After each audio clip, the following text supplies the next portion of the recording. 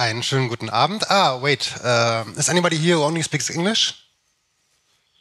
No?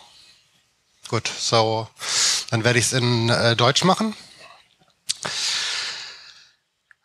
Also, es geht, wie auch angekündigt, so ein bisschen ähm, erstmal allgemein, wie gerade der Stand bei E-Mail-Encryption ist.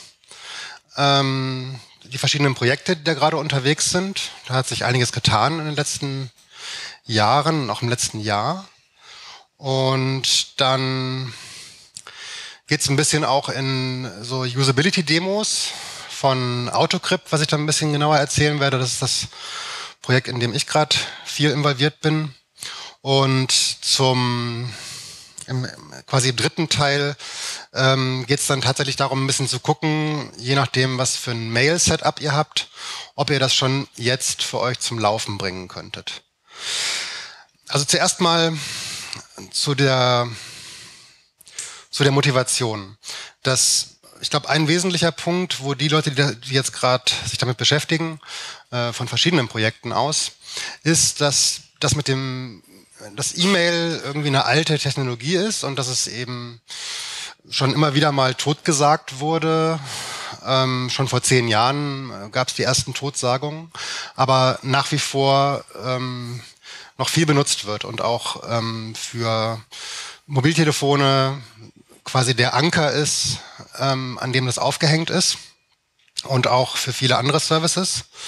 Es gibt ein bisschen Absetzbewegungen, also auch von bekannter vielleicht mit, von Facebook zum Beispiel, dass die ähm, jetzt versuchen, ihre Account Recovery zusammen mit GitHub so zu machen, dass man sich, wenn man in GitHub ein neues Passwort braucht, dann einfach nur in Facebook einloggt und das quasi umgeht.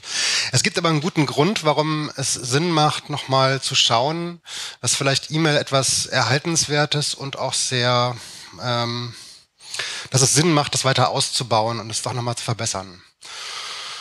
Und der Hintergrund ist einfach der, dass das E-Mail ähm, System so eine Art von ähm, öffentliches Identifikationssystem darstellt, wo ich mir E-Mail-Adressen mehr oder minder entweder selbst machen kann, wenn ich irgendwie genügend Expertise habe, mir einen Mail-Server aufzusetzen. Oder einfach zu jemandem gehen kann, zu irgendeiner Gruppierung, zu einer Firma, zu einem möglichen, wo ich einen E-Mail-Account mir kreieren kann. Das heißt, dass das Deployment, also dass die, die Art und Weise, wie äh, E-Mail äh, funktioniert, basiert auf einer sozialen Föderation. Also sprich, die verschiedenen Server, die gemacht werden, sind jeweils unterschiedliche Gruppen. Und das ist quasi eine soziale Föderation, weil es gibt auch eine technische und auch eine technische Dezentralisierung. Also Bitcoin ist ein bekanntes Beispiel. Ähm, wo also eine Software läuft, die dezentral läuft, aber sie ist sozial relativ zentralisiert. Ja, es gibt sozusagen eine, eine Quelle, manchmal streiten die sich, dann sind es vielleicht zwei, aber es gibt sozusagen recht begrenzt eine Gruppe von Leuten, die die Software produziert und auch ähm, was dann sozusagen das ganze Deployment erzeugt, was dann zwar Peer-to-Peer -Peer ist, aber es ist quasi konzeptionell in gewisser Hinsicht ähm, zentralisiert. Und bei E-Mail ist es eben nicht der Fall, was gleichzeitig was Gutes ist, weil es eben nicht in der Kontrolle einer Entität liegt. Und gleichzeitig aber auch eines der Probleme, warum es nicht so einfach ist, ähm, neue Sachen zu machen. Weil ich muss relativ viele Player überzeugen, dass sie das wirklich auch deployen.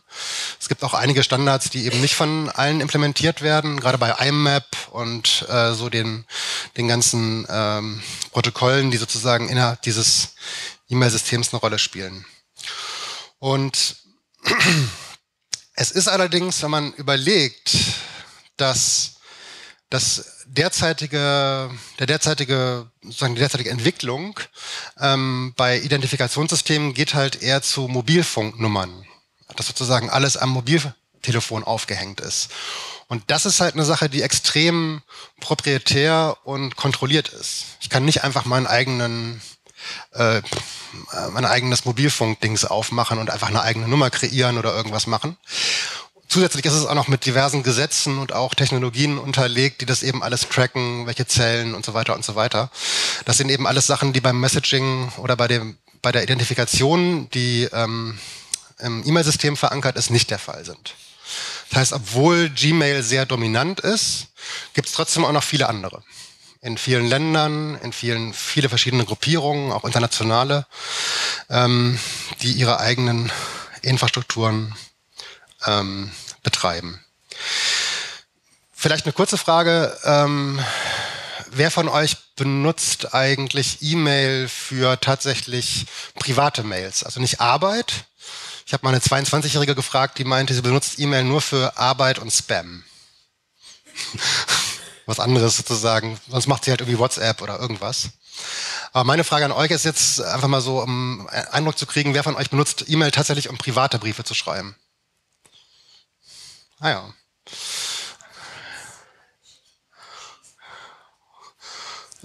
Vereinsgeschichten ausschließen.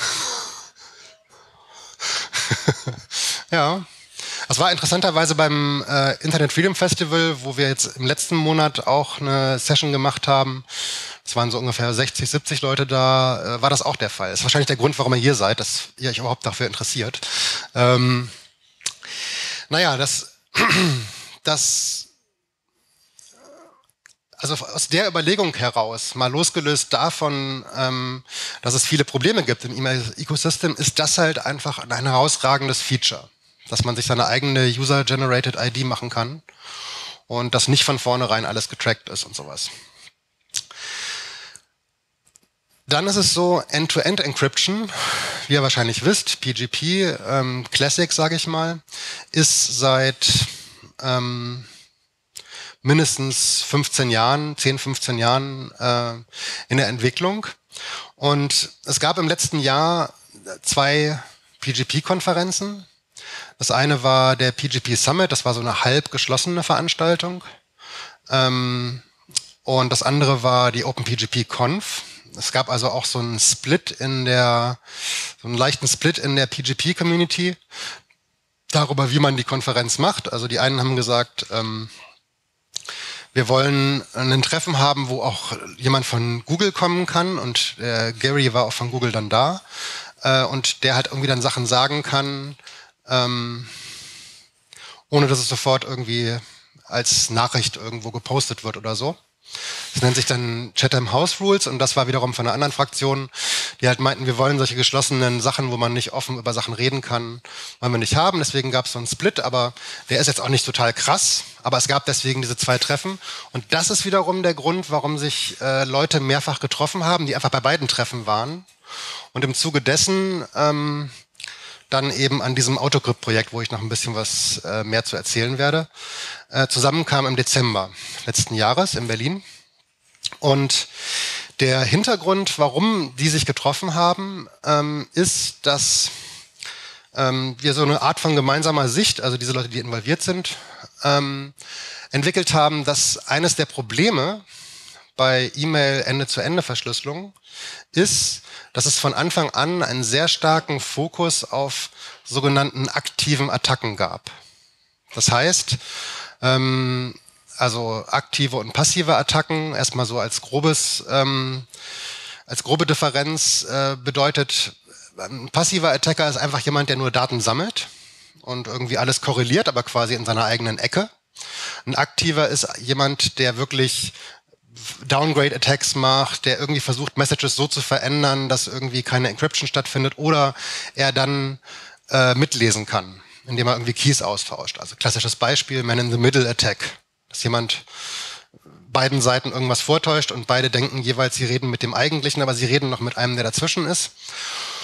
Und wenn man versucht, ähm, ein Protokoll zu etablieren, was gegen aktive Attacken gesichert ist, ähm, ist man wesentlich, also wird es wesentlich komplexer einfach. Und daher kommt auch das ganze Web of Trust in PGP, dass man sozusagen versucht, irgendwie ähm, Möglichkeiten zu finden, äh, aktive Attacken zu detekten. Dass also irgendwo falsche Keys sind und eine Art von Sicherheit zu kriegen über dieses Key, was sich auch als so eine Art von Certificate beschreiben lässt. Und ähm, das Problem ist, dass dadurch wird es dann so kompliziert oder wurde es zumindest in der Praxis kompliziert, dass wir in einer Situation sind, wo die meiste Mail, die geschickt wird, einfach Cleartext ist. Also sprich, ist für Leute, die passiv Daten sammeln, die gehen dann einfach zu Gmail oder zu ein paar Providern und holen sich einfach die ganzen Mails und die sind einfach im Klartext da. Das heißt, das war so eine Sicht, die wir quasi äh, geteilt haben äh, letztes Jahr, dass man quasi aus Angst vor dem Tod irgendwie äh, sich äh, runterstürzt irgendwo. Und wir haben gesagt, wir wollen ähm, uns vor allen Dingen auf Massenüberwachung im Sinne von passiver Datensammlung konzentrieren. Und wenn man aus der Warte, wenn man das sozusagen akzeptiert, und das ist in der Kryptoszene durchaus äh, schwierig, weil ganz ganz schnell immer über, über aktive Attacken geredet wird, automatisch quasi. Ja, da kann ja jemand einfach austauschen und so. Ähm, war das, war das zumindest erstmal eine gewisse Diskussion, die notwendig war, um das überhaupt zu etablieren, dass man so drüber nachdenkt. Dass man erstmal nur versucht, äh, gegen passive Attacken ähm, sicher zu werden. Es gibt ein RFC, das ist nach Snowden verfasst worden, das heißt, äh, ich glaube 7435 oder so, Opportunistic Security. Und das beschreibt genau diesen Zusammenhang. Dass sozusagen, wenn ich versuche, äh, immer eine hundertprozentige Sicherheit auch gegen aktive Attacken zu machen, dann wird es halt sehr schwierig. Und man sollte, bevor man dann einfach Klartext macht, lieber irgendwas Opportunistisches machen. Weil das ist zumindest, wenn nicht jemand massiv am aktive Attacken fährt, hat man da schon ganz gute Karten, dass nicht einfach Daten gesammelt werden können. Ähm, also das ist auf jeden Fall äh, eine Geschichte, so ein Differenzmerkmal, wo man sehr unterschiedlich äh, unterwegs sein kann. Und das ist äh, durchaus ein Gedanke, der eben schon in diesem RFC und auch in anderen Gruppierungen ähm, da ist. Und es gibt dann so, was E-Mail-Encryption angeht, ähm, sage ich mal, drei Ansätze, über die ich jetzt ein bisschen mehr was sagen will. Vielleicht zuerst den von dem GNU-PG-Team selbst. Ähm, das nennt sich Web Key Directory. Das ist relativ einfach, also es ist so ein relativ einfaches Konzept eigentlich. Wenn ich eine E-Mail-Adresse habe, dann nehme ich mir den Domain-Teil und mache darüber im Prinzip so eine Art äh, Canonical Lookup ähm, um zu dem Key zu kommen, der zu der E-Mail-Adresse gehört. Also, wenn ich eine Adresse habe, die heißt x@posteo.net, dann gehe ich zu Posteo und habe da in einem well-known Namespace über HTTPS einen, quasi eine Indirektion auf einen Service, wo ich dann über die E-Mail-Adresse den Key kriege. Das heißt, ich habe dann sozusagen automatisches ähm, Key-Lookup, was beim Provider hängt. Ähm, und da die Provider eh schon ähm, bei der ganzen Mail-Delivery, da geht die Mail ja letztendlich auch hin, ähm, drin hängen, ist es, also für Mail-Clients ist es nicht unbedingt äh, normal, HTTPS-Requests irgendwo hin zu machen, um irgendwas rauszufinden. Das ist nicht unbedingt in vielen E-Mail-Clients drin, aber es ist gleichzeitig eine Sache, die auf allen Plattformen verfügbar ist. Ähm, und insofern gemacht werden kann. Und das Web Key Directory braucht natürlich, der Schlüssel muss da irgendwie hinkommen. Das heißt, die Mail-Clients, die das supporten, und das ist, glaube ich, jetzt auch in Enigmail eingebaut, aber noch nicht released, ähm, die, die müssen halt dieses äh, Registrierungsprotokoll sprechen. Also die müssen quasi, wenn ich ein Mail-Client bin und ich habe für meinen User einen Key generiert, dann muss ich den quasi dem Provider irgendwie geben. Und das, ähm, das läuft über einen Mail-Austausch. Also ich schicke quasi eine Mail hin, kriege irgendwie eine Mail zurück und die muss ich irgendwie confirmen. Das lässt sich im Prinzip komplett automatisieren, ist aber, glaube ich, derzeit immer noch nur so halbautomatisch. Also diese, dieser Registrierungsschritt, dass mein Provider meinen Key für andere Leute, die mir mailen wollen, äh, zur Verfügung stellt. Ähm, aber das ist sozusagen underway. Das gibt's als IETF-Draft, kommt von äh, Werner Koch und dem GNU-PG-Team und hängt natürlich daran, äh, dass die Provider das unterstützen. Und das wird zumindest bei einigen, wie zum Beispiel äh, Google, wird es sehr schwierig werden. Weil Google hat nach 2013, also nach dieser Snowden-Geschichte, ähm, genauso wie andere große Firmen so End-to-End-Projekte gestartet. Ähm, also Google End-to-End -End heißt das, beziehungsweise dann später ähm, hieß es, Google End-to-End -End und dann nochmal, also nochmal einen anderen Namen zwischendurch gehabt. Mittlerweile haben sie aber, dass das Ziel war eigentlich Gmail Ende zu Ende verschlüsselt zu machen.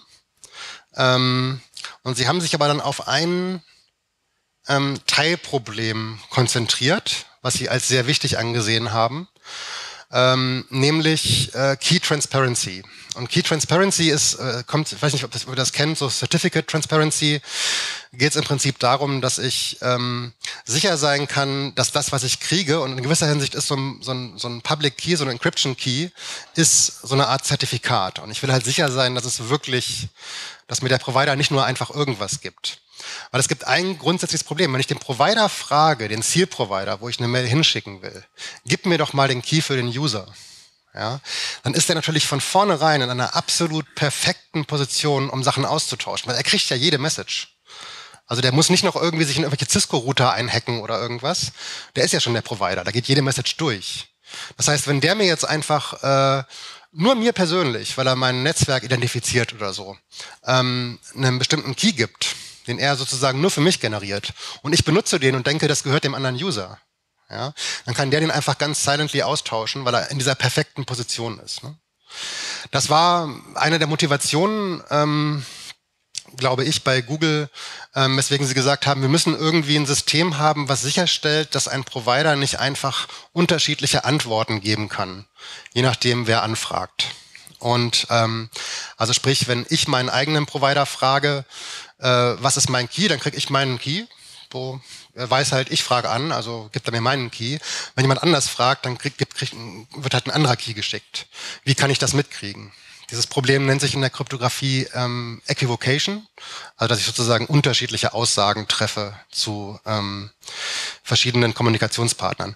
Und deswegen haben die sich ganz stark konzentriert über zwei Jahre ähm, auf dieses Thema, dass sie das irgendwie verhindern und haben mit Merkle Trees und einer, einem Konzept, das basiert auf einem Forschungspaper von vor zwei Jahren ungefähr, das heißt Connex, wo es im Prinzip eine Fortschreibung von so einer ähm, Certificate Transparency Geschichte ist, ähm, haben sich damit ganz stark beschäftigt und haben das jetzt auch released. Wird aber nicht in Gmail integriert. Also das haben sie sozusagen mittlerweile aufgegeben. Jetzt haben sie sozusagen nur noch, oder ist zumindest nicht mehr der Plan, ähm, jetzt haben sie halt dieses Key Transparency System, was irgendwie auch skalieren soll und was sicherlich an sich auch erstmal eine möglicherweise interessante Geschichte ist, aber diese Key Transparency ist halt bloß ein Problem in der Frage, ein kleines Subproblem in gewisser Hinsicht, in der ganzen Frage, wie bringt man Ende-zu-Ende-Encryption überall hin? Weil da kommt halt ganz viel Usability, was passiert in Bezug auf Key Loss, also wenn ich, oder Device Loss, wenn ich mein Device verliere oder sowas. Ähm, ganz viele Usability-Fragen. Ähm, und die muss ich ja auch alle lösen. Und dann habe ich auch noch Webmail, was auch nochmal speziell ist, weil da bekomme ich den Code, der auf meinem Rechner läuft, ähm, von dem Provider. Wo er sozusagen, wenn ich dann Ende zu Ende mache und ich bekomme aber den Code eigentlich von dem Provider, kann ich natürlich immer auch modifizierten Code bekommen der einfach noch irgendwas liegt oder so. Ne? Also hat bei Webmail nochmal ein Spezialproblem, was ich jetzt bei Debian zum Beispiel nicht habe. Wenn ich in Debian irgendwie meinen äh, Mail-Client installiere, dann ist der unabhängig vom Provider. Da kann der Provider nicht einfach mir irgendwas unterschieben oder so. Also sprich, da gibt es eine ganze Menge Probleme, ähm, die man da irgendwie lösen muss. Und ähm, Key Transparency ist eben nur eins. Und das wird bei Web Key Directory, was jetzt das erste System war, was ich gerade angesprochen habe, was es äh, sozusagen derzeit gibt, was auch schon in GNU-PG eingebaut ist. Da gibt es dann diesen speziellen Lookup, der gemacht wird. Ähm, und die wollen jetzt halt schauen, dass sie das möglichst viele Provider machen. Ähm, Mal schauen. Provider sind in der Hinsicht relativ konservativ, weil das ist ihre Business-Infrastruktur und sind da nicht so ganz leicht dabei, da irgendwie Sachen dazu zu machen. Vor allen Dingen, wenn sie so ein bisschen einen Job als Certificate Authority übernehmen. Dann ist man sozusagen auch nochmal ein anderes Target ne, für Hacker und so, da irgendwie reinzukommen und irgendwas zu ändern. Ähm, das wird sich also zeigen. Ähm, es gibt ein zweites Problem, was unterschiedlich eingeschätzt wird äh, bei dieser Geschichte. Und das betrifft auch die Key-Server. Wie man jetzt, ich weiß nicht, wie ihr eure Keys bekommt, entweder wahrscheinlich inline, indem sie jemanden schickt, oder indem ihr einfach einen Lookup macht auf dem Key-Server. Ähm, und wenn man einen Lookup macht auf dem Key-Server oder das auch macht über Web Key Directory, also dass man einfach den Provider fragt, wo man hinschicken will, ähm, hat man das Problem, dass man quasi einen unauthenticated anonymous Lookup erlaubt. Ja, also sprich, jeder kann das machen. Das ist auch der ganze Sinn der Sache so ein bisschen an der Stelle. Und das Problem daran ist natürlich, dass, ähm, dass das auch Spammer machen können. Also derzeit ist Spam im E-Mail-Ökosystem nicht mehr so ein großes Thema, weil es eine Kombination von ähm, Content-Filtering und äh, IP-Trust-Geschichten, also dass Provider sozusagen Trust-Level kriegen, die in Realtime evaluiert werden. Ähm, und dadurch halt das mit dem Spam einigermaßen eingegrenzt wurde. Wenn jetzt aber tatsächlich relativ viel Ende-zu-Ende-Verschlüsselung stattfindet, dann fällt zumindest ein Teil dieser Anti-Spam-Infrastruktur weg. Und das ist eben natürlich äh, für Spammer dann einfach eine große Datenbank anzulegen mit all den Schlüsseln und einfach Sachen verschlüsselt zu schicken. So, das ist zumindest eine Sache. Da, wie gesagt, gibt es unterschiedliche Ansichten. Die sagen, naja, wir gucken dann mal, wenn wir das Problem haben, so nach dem Motto. Ähm, und es gibt ähm, einen, der lange bei Google gearbeitet hat, Mike Hearn, der hat auf der Messaging-Mailing-Liste, wo allgemein über verschiedene Formen von Messaging äh, und Krypto diskutiert wird, hat er mal ein recht langes Posting gemacht, wo er das aus seiner Sicht erläutert. Also warum das mit Ende-zu-Ende-Verschlüsselung und Spam und einem offenen System, weil E-Mail ist anders als WhatsApp ein offenes System. Sobald ich die Adresse habe, kann ich einfach hinmailen. Ne? Während ich sonst bei diversen Messengern erstmal den Kontakt etablieren muss. Also die andere Seite muss akzeptieren. Ja? Jetzt bei Frema zumindest ist es, glaube ich, so und auch bei einigen anderen. Und das ist eben bei E-Mail nicht der Fall. Und ähm, wenn man also ein offenes, Ende-zu-Ende verschlüsseltes Messaging-System hat, dann ist halt die Spam-Frage immer ein Thema. Ähm, das wird sich also noch zeigen, wie das dann, wie da die Auswirkungen sind und wie auch die Provider das dann sehen. Also jetzt zum Beispiel für Gmail ist wahrscheinlich nicht so einfach, sowas zu deployen, weil die natürlich wenn sie ein Spam-Problem kriegen, dann halt ein massives, ne? Und äh, für sehr viele User. Das heißt, ähm, da bin ich mal gespannt sozusagen, wie da die ähm, Reaktionen sind. Aber das läuft auf jeden Fall und ähm, ich denke mal, dass da auch ähm, einiges passieren wird in den nächsten Monaten, äh, was auch veröffentlicht wird. Ähm, dann das zweite Projekt, was es schon eine ganze Weile gibt, ähm, ich glaube seit vier Jahren oder so, ist die äh, Pep Engine. Das ist, äh, ich glaube, Pretty Easy Privacy ist ähm, das Ding. Wir haben übrigens in der, in der Autogrip-Gruppe gesagt, es darf nirgendwo in unserem Text ähm, irgendwas mit easy auftauchen. oder good oder so, weil das ist sozusagen verbrannt. Aber los, wenn man sagt, das ist alles ganz easy. Ähm, aber losgelöst davon äh, sind die seit einiger Zeit schon dabei.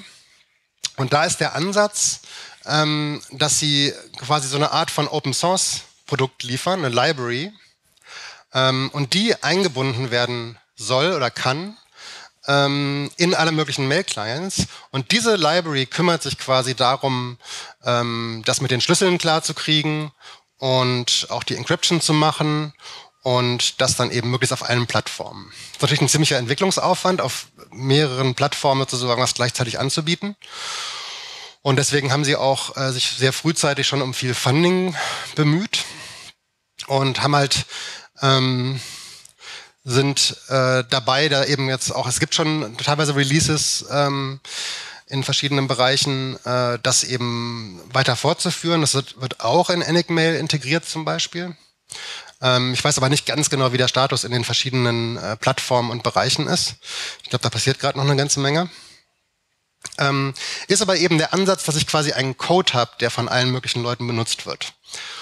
Und ähm, der, der dritte Ansatz, den ich, äh, den, der eben Autocrypt heißt, der sich jetzt erst seit ein paar Monaten quasi in Entwicklung befindet, der dreht sich darum, dass wir sagen, ähm, wir wollen gegen passive Attacken, also gegen reines Datensammeln, wollen wir ein System haben, was funktioniert, auch wenn die Provider nicht mitmachen. Also auch wenn Gmail nicht mitmacht. Also wir, wir haben sozusagen nicht als Vorbedingung, dass die Provider erstmal irgendwas ändern, damit ich dann im E-Mail-Client irgendwas machen kann, was sozusagen damit arbeitet, sondern ähm, wir sagen, das ist, ähm, es ist günstiger, wenn wir es schaffen, dass das rein von den End Devices gemacht werden kann, ohne dass die Provider sich ändern müssen. Ähm, das ist zumindest eine große Differenz zu dem Web Key Directory Ansatz von dem GNU-PG-Team. Es ist was ähnliches, was auch, es ist eine ähnliche Sicht, die auch, denke ich, von den PEP-Leuten geteilt wird. Man sozusagen von den End-Devices ausguckt.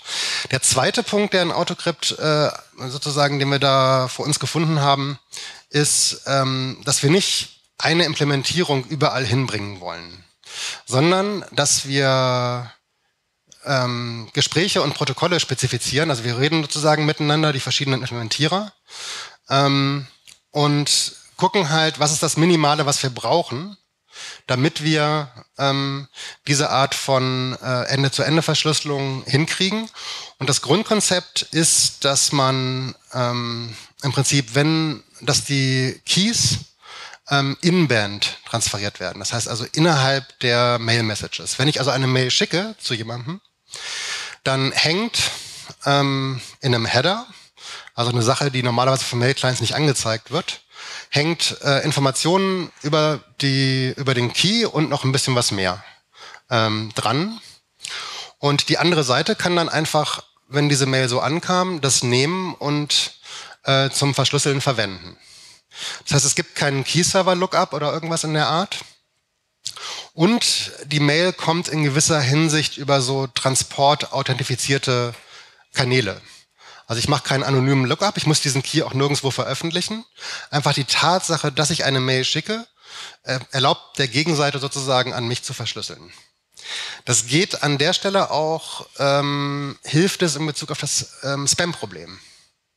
Weil diese Keys, die sind nicht so leicht äh, zu sammeln weil die sind nirgendwo in dem Sinne zentral vorhanden, wo man sie abrufen könnte, wie auf einem Key-Server oder wie bei Web Key Directory, sondern die befinden sich halt in diesen Messages. Das heißt, die Spammer müssen es irgendwie schaffen, ihre Erzfeinde, weil die die E-Mail-Betreiber sind sozusagen, die sind ja sozusagen die automatisch diejenigen, die versuchen gerade nicht es den Spammern einfach zu machen, ähm, von denen irgendwie die Keys zu kriegen, weil die kriegen die Keys natürlich mit. Ich habe eine verschlüsselte, transportverschlüsselte Mail von mich, an, von mir an den Provider. Der Provider hat den Header, also der kennt den Key auch, der sieht ihn sozusagen, während er durchgeht. Und dann wird die Mail weitergeschickt. Und heutzutage ist das meiste schon dann auch über Transportverschlüsselung abgesichert. Das heißt, es kriegt erstmal niemand, auch keiner, der irgendwie in Frankfurt am DNX hängt oder irgendwas, äh, die ganzen Schlüssel mit. So nicht per se. Außer man hat mal wieder irgendwie TLS kaputt gemacht oder so, dann vielleicht doch. Aber ähm, erstmal so grundsätzlich nicht so einfach für Spammer an diese ganzen äh, Keys ranzukommen. Wie relevant das ist, da können wir auch noch drüber reden. Ähm, die, die entscheidende Geschichte, denke ich, die dann, äh, die bei, sag ich mal, in diesen Autocrypt-Diskussionen eine sehr große Rolle spielt, ist, dass es ähm, dass wir sehr viel in Bezug auf Usability uns überlegen. Also wir wollen ein möglichst minimales System. Wir wollen nicht, dass ein User irgendwas mit Keys entscheiden muss. Kann ich jetzt diesem Key vertrauen oder nicht? Und kann ich ihn importieren oder nicht? Oder will ich meinen Key exportieren? Oder diese ganzen Fragen, die ähm, sind sozusagen nicht massentauglich einfach. Die sind einfach nicht, ähm, da irgendwie ein mentales Konzept zu haben, was irgendwie ein Public Key ist oder so. Also ist einfach schwierig, weil was ist ein öffentlicher Schlüssel? Ich habe hier irgendwie so einen Schlüssel. Was ist jetzt irgendwie ein öffentlicher Schlüssel? Es ist sozusagen, wenn man nicht irgendwie mit der Mathematik irgendwas zu tun hat oder damit irgendwie was anfangen kann, ähm, dann ist das schon mal ein Problem, da überhaupt anzufangen, äh, drüber zu reden. Leute gewöhnen sich dann dran, ähm, da irgendwie drüber zu reden und einige sagen dann, sprechen dann lieber von Encryption Key, also ein Verschlüsselungs- Key oder manchmal auch eine Verschlüsselungszahl, was tatsächlich ähm, für viele sozusagen ein bisschen einfacher zu verstehen ist, weil mit Zahlen kann man komische Sachen machen. Das ist halt eine Verschlüsselungszahl, damit kann ich irgendwas machen, während ähm, sowas wie ein öffentlicher Schlüssel halt keinerlei Assoziation, die irgendwie hilfreich ist, für einen nicht mathematischen Background hervorruft. Naja, und die die Usability, die zentrale, eine der zentralen Geschichten ähm, bei Usability-Problemen ist ähm, unreadable Mail. Also sprich, ich bekomme eine Mail, die ich nicht lesen kann. Wer hat, also erstmal, wer macht von euch gerade PGP in irgendeiner Form? Okay, und wer hat in den letzten, im letzten Monat ähm, entweder selbst eine Unreadable-Mail gekriegt oder von der Gegenseite gehört, dass sie ähm, das nicht lesen kann irgendwie? Ah, nicht so viele. Okay. es ist auf jeden Fall ein ähm, Problem, was ähm, sehr viel auftaucht. Und es gibt also wir haben auch Kontakt mit verschiedenen Trainern, also in Venezuela und allen möglichen, äh, gerade auf dem IFF auch viel mit Trainern geredet, die also Leuten PGP beibringen, Aktivisten, Anwälten, allen möglichen Leuten, die, wo das wirklich, wo bei denen die Frage dranhängt, ob sie verfolgt werden oder nicht, ja, also ob ein Staat sozusagen hinter ihnen her ist und sie für irgendwas drankriegt oder nicht. Und die sagen halt, dass im Prinzip alle sich einig sind, sie brauchen das irgendwie, ja, es ist irgendwie wichtig, weil sonst ihre staatlichen Provider oder andere einfach alles im Klartext direkt da haben. Ähm, aber also sind sich alle einig in dem Kurs, der Trainer und die Leute, die dann halt einen ein bis zwei Tageskurs machen oder so. Ähm, und wenn man dann aber danach fragt, nach zwei Wochen, wer von denen macht es wirklich, dann ist es halt in der Regel niemand. Also alle finden es wichtig, aber keiner sozusagen kriegt es wirklich in seinen Alltag integriert. Das stimmt natürlich nicht, ja? Du wolltest.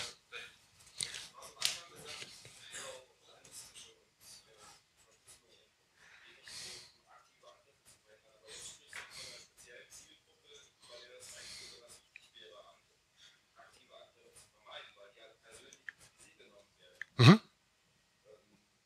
Genau. Nee, also das, ich, mir geht's, Moment, mir ging es äh, darum, äh, sozusagen diesen, diesen Usability-Aspekt, dass der sozusagen ähm, einfach ein großes Hemmnis ist. Ne? Und genau, für die Allgemeinheit. Und ähm, es gibt dann noch zusätzlich das Problem, das gibt es in einigen Staaten, dass allein die Tatsache, dass man PGP verwendet, ähm, schon sozusagen ein Problem ist. Oder die Tatsache, dass man einen RiseUp-Account hat oder irgendwas dass das schon ausreichend ist, um vor Gericht verwendet zu werden, als ja, ja, der ist wahrscheinlich irgendwie, äh, hat irgendwie, äh, ist irgendwie mit irgendwelchen Leuten verbunden, die irgendwas Terroristisches wollen oder so. Ähm, das Problem ist einfach, dass es eigentlich ziemlich viel Bereitschaft gibt von Leuten, da sozusagen Sachen auszuprobieren, aber dass sie mit der ganzen Komplexität, die eben mit dieser aktiven Angriffsgeschichte die PGP Classic versucht äh, zu lösen, ähm, oft überfordert sind. Ähm, und dann gibt's noch Device Loss, Key Loss und, und viele andere Geschichten, wenn man es dann wirklich benutzt. Und das eine der Geschichten ist bei opportunistischer Verschlüsselung, dass man im Zweifelsfall, bevor die andere Seite ähm, Mails kriegt, die sie nicht lesen kann, ähm, lieber Klartext checkt. Und das ist sozusagen so ein gewisser Bruch, ähm, weil normalerweise ist es so, naja, wenn ich irgendwie Signal benutze zum Beispiel, dann will ich halt sicher sein, dass äh, das immer verschlüsselt ist. Soll nicht mal zwischendurch irgendwie nicht verschlüsselt sein. Mal abgesehen davon, dass sie in Signal diese SMS äh, Signal Message äh, Geschichte, die verwirrt wahnsinnig viele Leute, dass sie nicht so richtig realisieren, dass die SMS, die sie schicken, auch wenn Signal ihr SMS Messenger ist, natürlich nicht verschlüsselt ist. Das haben sie ja irgendwann abgeschafft, ne? Vor, vor zwei Jahren oder so, dass die SMS verschlüsselt ist, aber sie machen weiterhin SMS in Signal. Das heißt, wenn man aus irgendwelchen Gründen plötzlich eine SMS schickt, weil man gerade keine Datenverbindung oder irgendwas hat, muss man sehr genau hingucken, was unten das Symbol sagt. Ne? Das ist schon verschiedenen Leuten passiert, dass sie dann dachten, es wäre verschlüsselt, war es aber nicht. Ähm, also dieser Mix, der wird allgemeinhin als was Negatives ähm, empfunden. Bei E-Mail ist es allerdings nicht so unbedingt der Fall, weil bei E-Mail ist es so, dass eh erstmal alle irgendwie von Klartext ausgehen und je nachdem, was ich dem User tatsächlich anzeige, ähm, auch nicht die Erwartung da ist, dass alles immer komplett verschlüsselt ist, so unsichtbar quasi. Ähm, und die die wesentliche Geschichte bei dem, ähm, bei dem Verhindern von unleserlicher Mail oder von Mail, die man nicht lesen kann, ähm, ist eben das Bedenken von, was passiert bei, bei ähm, Device oder Keyloss und was passiert bei, und das ist das große Thema bei E-Mail ähm, Ende-zu-Ende-Verschlüsselung, bei der Benutzung von verschiedenen Geräten. Wobei ein Gerät zum Beispiel auch ein Webbrowser ist in dem Fall, also einfach Multi-Device. So wird das ähm, angeführt. Und das ist eben, wenn ich irgendwie einen K9 habe, ähm, also der Vincent von K9, der ist zum Beispiel auch bei den Autocrypt-Geschichten dabei, ähm, der, der Android-App. Ähm, wenn ich dort äh, jetzt das mache, was auch immer, ist ganz egal, ob ich PEP mache oder irgendwas, und dann habe ich aber noch meinen Webmail-Account, über den ich auch noch reingehe, dann kriege ich plötzlich Unreadable Mail. Also ich schicke irgendwie was raus, ich habe mein, sei es mein Header oder Pep Engine, egal. Die andere Seite sieht das und will dann verschlüsseln an mich. Und ich kann das aber dann in meiner Webmail nicht lesen. Und das ist für jemand, der jetzt nicht irgendwie wahnsinnig viel Aufwand reinsteckt, äh, sein E-Mail-Setup zu verstehen und was genau mit der Verschlüsselung ist und so, nervig. Dann, dann sage ich unter Umständen einfach, ich schalte es ab. So, weil irgendwie kann ich die Mail nicht lesen und das nervt mich. Und äh, diese Probleme, da sind wir in, sage ich mal, ist der Grundansatz in Autocrypt auf jeden Fall ziemlich defensiv. Also sofern wir nicht sicher wissen, dass, dass, ähm, dass, dass auf mehreren Devices das gelesen werden kann, lieber nicht äh, der anderen Seite empfehlen, an mich zu verschlüsseln. Ich würde jetzt da mal an der Stelle ähm, direkt in so eine sozusagen eine Usability oder eine UI, die wir gemockt haben, ähm, mal reingehen. Da bräuchte ich mal den Bildschirm zu, damit das vielleicht etwas konkreter wird, wie das dann aussieht.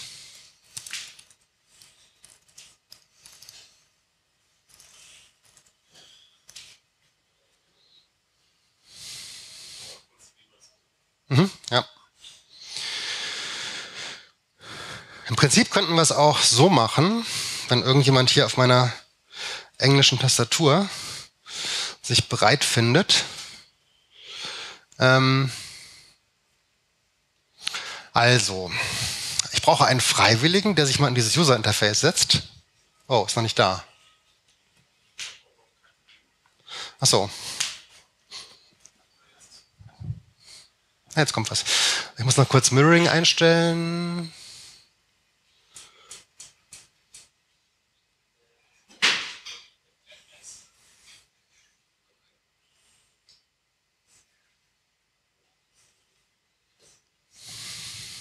So. Also, eine Freiwillige, einen Freiwilligen. Der einfach nur kurz, ich sage gleich was dazu. Das ist sozusagen das ist der neue Mail-Client. Super simple. Ähm, hm?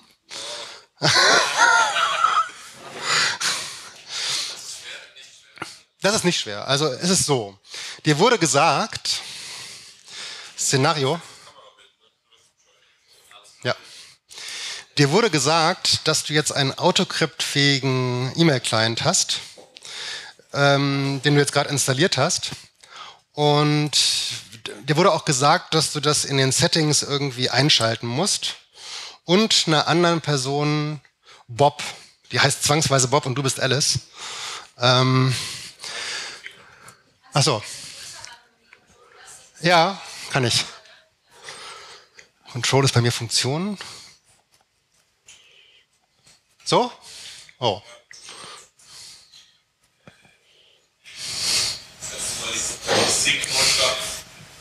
Ist gut?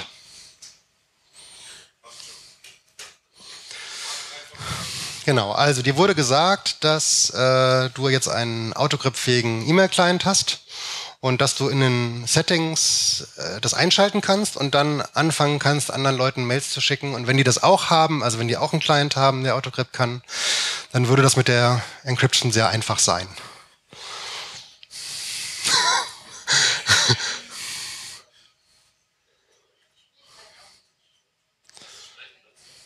Du kannst sprechen dazu, ich kann dich auch übersetzen. So, jetzt hast du gerade enabled, genau. Ähm, ich will möglichst wenig sagen. Also ähm, du sollst deine Mail schicken, jetzt musst du sozusagen selbst äh, gucken.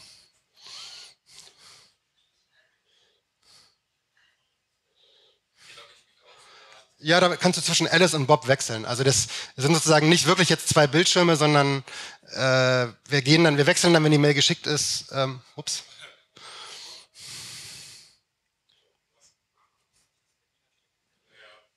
Genau. Naja, genau. Du musst nochmal nach oben scrollen, da, aber ja. Ja, das ist halt mit der Usability immer irgendwas klappt nicht. Sagt ihr Bescheid, wenn er soweit? Jetzt stabil? Gut. Dann würde ich jetzt wahrscheinlich eine Mail schreiben. Ne?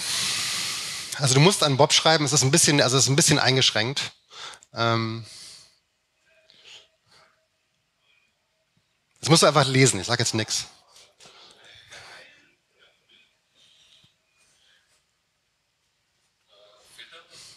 Ja, es ist wahrscheinlich ein Tick zu unten ist ein Scrollbalken, also oder einmal Ctrl Minus. Es fehlt nicht viel, also es fehlt nur ein bisschen.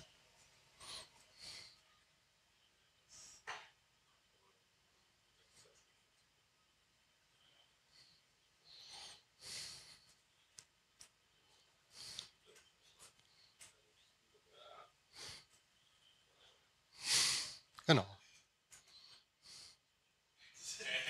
Ja, das ist, äh, das ist nicht, das ist, das ist Englisch und ich kann dir äh, auch Deutsch anbieten. So.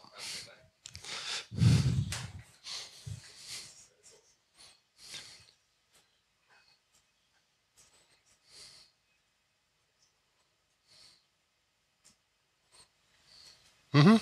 Muss jetzt, Tippfehler sind egal. Okay.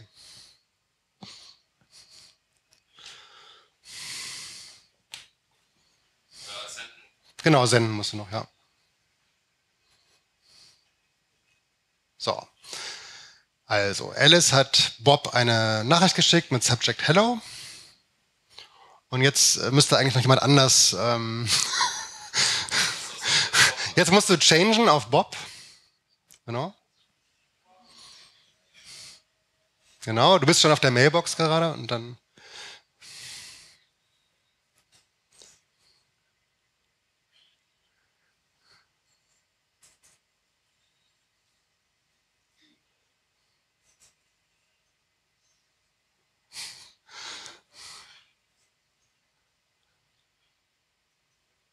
Okay.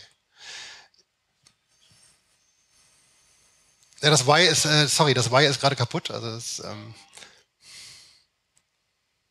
du bist als Bob eingeloggt, ne? Weißt du? Mhm.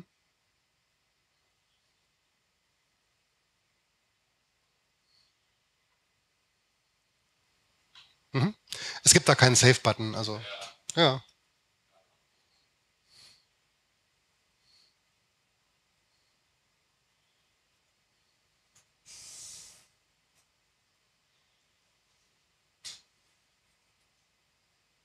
Genau. Jetzt hat Bob, es changen die Pfeile einfach, ne? Also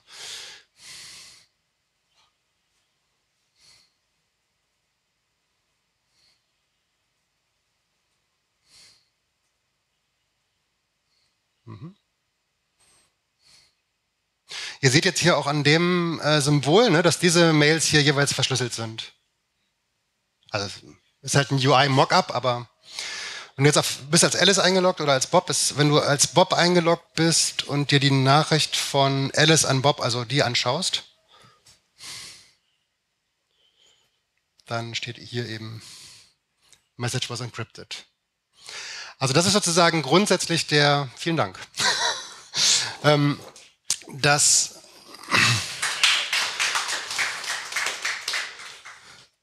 Das ist derzeit das, was ähm, sozusagen wie das gedacht ist. Also das müssen User irgendwie verstehen. Das ist natürlich ein bisschen so, man muss irgendwie eine Mail schicken und wenn man quasi irgendwie so einen Contact schon established hat, dann und der hat auch Autocrypt, dann muss er es nur irgendwie enablen und dann kann ich einfach encrypten. Also sprich, keine, es sind keine Sachen über Keys irgendwie da, es sind keine ähm, also man muss nicht irgendwie verstehen, was Keys sind oder sowas, sondern ähm, hat das halt auf der Ebene. Es gibt eine Sache, die interessant ist. Ähm, du bist gleich hingegangen und hast ähm, I prefer encrypted. Und das ist auch der Grund, warum bei dem Reply, also wenn ich jetzt eine Mail schicke als Bob an Alice, dann defaultet das auf encrypt. Ja, also dann habe ich äh, sozusagen einfach nur, weil ich Alice eingegeben habe und ich habe den Key. Ähm, und Alice hat in ihrem Setting gesagt, I prefer to receive encrypted mail. Ähm, deswegen ist der Default hier encrypt. Was du allerdings nicht gemacht hast, glaube ich, ist ähm, zu gucken, was da steht, weil niemand liest irgendwelche Sachen, die sozusagen. Ähm, weil hier steht, please enable autocrypt on only one device. Und hier heißt es, autocrypt will encourage your peers to send you encrypted mail. Ne? Und das ist noch nicht ganz ausgereift, also wir wollen da noch weitere Usability-Tests machen. Weil das Problem ist jetzt folgendes, ähm, dass ähm, wenn ich jetzt ein zweites Device habe, dann kann ich derzeit, also mit dem Autocrypt Level 0, wie wir das nennen, ähm, nicht einfach, ähm, ich kann nicht sozusagen auf zwei Devices das betreiben. Ja, ich kann es nur auf einem Device betreiben, weil wir haben quasi so ein schrittweises Vorgehen. Wir wollen jetzt in den nächsten Monaten das quasi in verschiedenen Clients äh, releasen und äh, im nächsten Schritt dann äh, Multi-Device automatisiert unterstützen. Da sage ich gleich noch ein bisschen was zu. Der Punkt ist halt hier in den Settings, dadurch, dass hier jetzt steht in den Advanced Settings, ähm, I prefer to receive encrypted mail, dass tatsächlich die andere Seite immer defaulten wird auf encrypted mail. Das heißt, wenn ich jetzt noch einen Webmailer habe, der kein Autocrypt kann, dann kriege ich da halt PGP-Messages. Dann kriege ich da sozusagen encrypted Messages und kann sie nicht lesen. Und das ist auch der Grund, warum das unter Advanced Settings ist und äh, hier sozusagen normalerweise gar nicht aufklappt und man Leuten halt einfach nur sagt, mach Enable und das war's, weil der Default ist tatsächlich äh, nicht sozusagen dass weder das noch das, sondern der Default ist, dass ähm, jeder wählen kann, ob er verschlüsseln will oder nicht. Das ist der Default. Und bei Default heißt das, äh, es ist nicht verschlüsselt. Ja? Das heißt, wenn Alice Bob eine Mail schickt und hat ähm, in ihren Settings eingestellt, ähm, nichts eingestellt quasi, keine Preference, dann wird Bob, wenn er schickt, dann wird dieser Button, wir können das auch kurz machen, das müsste eigentlich funktionieren, wenn ich jetzt als Alice mich einlogge, ähm, in den Preferences die Advanced Settings das hier zurücknehme und dann ähm, eine Mail schreibe, das ist noch wichtig jetzt, an Bob. Ähm, hallo? Ich kann auch immer von Hand das Encrypt wieder rausnehmen. Ja, das ist auch eine Sache, eine Entscheidung, die wir getroffen haben, weil Menschen in der Regel teilweise Sachen wissen, die Maschinen nicht wissen. Wie zum Beispiel, dass irgendjemand gerade auf Reisen ist und sowieso nur Webmail hat. Und es einfach keinen Sinn macht, jetzt gerade zu verschlüsseln. Solche Situationen gibt's halt. Ne? Und da ist es dann halt schwierig, wenn die Maschine das einfach entscheidet und ich kann es quasi überhaupt nicht mehr ändern. Ja, also man könnte jetzt sagen, nein, wenn man encrypten kann, dann muss man bei encrypten bleiben. Ähm, aber das ist eben aus der Usability-Perspektive eine Sache, wo wir gesagt haben, wichtig ist, dass die Leute ihre Messages lesen können. Ja, das ist sozusagen deren ähm, Interesse. Und wenn sie quasi keine Möglichkeit kriegen, irgendwas zu schicken und die andere Seite kann es lesen, ähm, auf ihrem Webmail-Client zum Beispiel, dann ist das nervig. Dann nervt mich dieses Feature sozusagen und ich werde es möglicherweise einfach deaktivieren. Ja.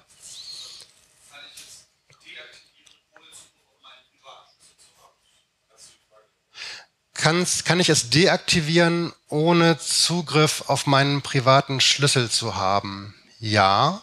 Das ist einfach, wie meinst du, meinst jetzt...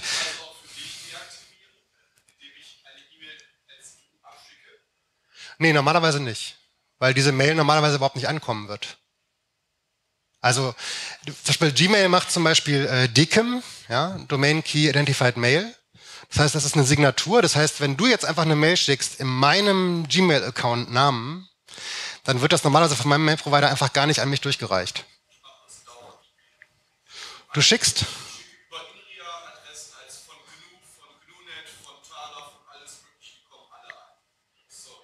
Bei mir wahrscheinlich nicht. Und bei Google glaube ich auch nicht, weil Google, Google macht ja auch eine DKIM-Verification. Ne? Also ich glaube nicht, dass du einfach ein, also probier es einfach mal. holger.krekel.gmail.com und schick mir eine Mail. ähm, ja.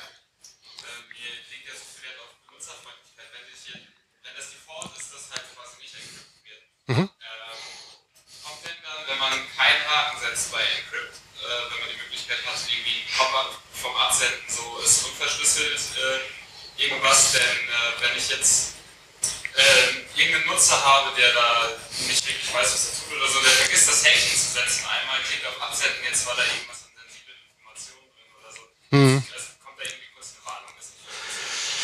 Also die, ähm, die Grundgeschichte ist, dass wir sagen, ähm, der derzeitige Zustand ist Cleartext. Und wir wollen so viele, das ist das, was wir machen wollen, wir wollen so viele wie möglich Cleartext-Messages mit Encrypted Messages ähm, ersetzen, also dass möglichst viel verschlüsselt ist, aber unter der Restriktion, dass es die User nicht nervt das sozusagen nicht irgendwie irgendwie die Flows unterbricht und man irgendwas nicht lesen kann und genervt ist einfach, ne? weil das dann meistens das zum Abschalten führt. Ähm, und das heißt, an der Stelle fällt derzeit, aber das ist aber noch pending Usability Tests, äh, glaube ich nicht, dass jetzt zum Beispiel bei K9 oder anderen dann nochmal extra eine Warnung hochpoppt oder so. Ne? Du wirst halt immer diesen, also jetzt hier ist das natürlich irgendwie so dargestellt. Also wie das ganz genau visualisiert wird, das hängt natürlich auch von dem Kontext ab, weil das in Enigmail anders aussieht als in K9, was halt einen viel kleineren Screen hat und sowas. Ne?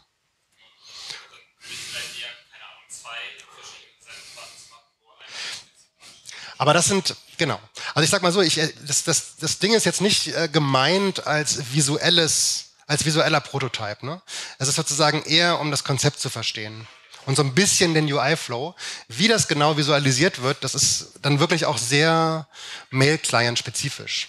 Weil das eben, also der, der Vincent zum Beispiel, also auf, auf einem Android oder auf einem iOS-System denkst du da ganz anders drüber nach, als irgendwie in einer Desktop- oder Webmail oder irgendwas Geschichte. Muss man dann sozusagen sehr spezifisch dann da lösen. Ne? Und das hier ist quasi nur so ein ähm, vom Flow her. Ich würde es gerne kurz einmal machen, dass äh, ich die Preferences habe ich jetzt geändert. Jetzt will ich eine Mail schicken. Ähm, Bob, hallo zum zweiten, äh, was auch immer. Ähm,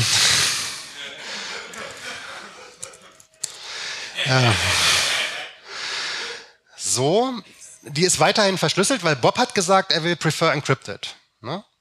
Also Bob hat gesagt, er will prefer encrypted. Ähm, ich gehe jetzt noch, also ja, das ist eine, kleine, eine Kleinigkeit. Es gibt noch ein Feature, das will ich jetzt aber gerade nicht sofort erklären. Ähm, ich gehe nochmal auf Preferences und mache bei Bob auch mal zur Symmetrie. Äh, schalte ich das ab? Hm? Hatte ich das? Bei Alice auch abgeschaltet? Ich habe es bei beiden abgeschaltet, okay. Ähm, hier hat jetzt Alice Bob eine verschlüsselte Mail geschickt. Das Ding ist, wenn man da replied, dann sagt ähm, die Autoscript äh, Specification, soll man unabhängig von dem Setting, was da kam, innerhalb der Encryption-Geschichte bleiben. Also wenn es sozusagen encrypted war und ich mache einen Reply auf eine encrypted Mail, ist sozusagen die Recommendation, dass man encrypted bleibt, auch wenn die das Setting von der von der Person, also von von äh, von Alice in diesem Fall eigentlich oder von Bob äh, eigentlich sagt, ich I prefer to not receive encrypted mail, aber die war ja explizit encrypted. Das heißt, darauf encrypted zu antworten, ist sozusagen normalerweise guter Stil. Ähm, und deswegen ist jetzt hier dieser Encrypt-Button auch enabled. Ich nehme den jetzt aber mal raus. Ähm, das war jetzt unverschlüsselt. Und wenn ich das, ich kann das sozusagen forcen und jetzt ist, oh, jetzt habe ich Alice an Alice geschickt. Naja. Ähm, ich schreibe mal eine neue Mail, damit das nicht. Kleinen Moment. Ähm, was hast du? Ja, ja, gucken wir gleich. Ähm,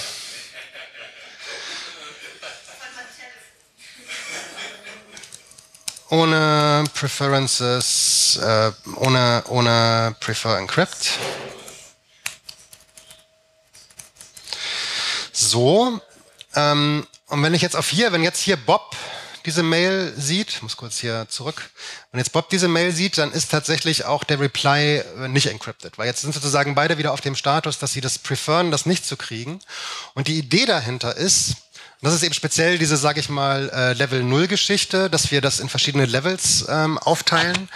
Ähm, die Idee dahinter ist, dass ähm, wir auf jeden Fall den Schlüsselaustausch im Background haben, dass der sozusagen schon mal funktioniert und dass die User so eine Art von Handlungsfähigkeit haben in Bezug auf, ähm, sie können jetzt Encryption verwenden, Aber es ist noch ein bewusster Akt, das ist nicht bei Default sozusagen. Da muss ich schon zu den Preferences gehen und sagen, ich möchte das immer so haben. Und äh, das machen wir deswegen, weil wir eben in Level 0 noch kein Multi-Device, wir haben noch kein Pairing zwischen zwei Devices. Da haben wir zwar schon Diskussionen und wissen auch schon ungefähr, wie wir es machen wollen, aber ähm, das ist sozusagen in Level 0 noch nicht da, sozusagen eine andere Komplexitätsstufe. Und, ähm, und deswegen machen wir das derzeit so, dass die Entscheidung tatsächlich ähm, eine bewusste ist.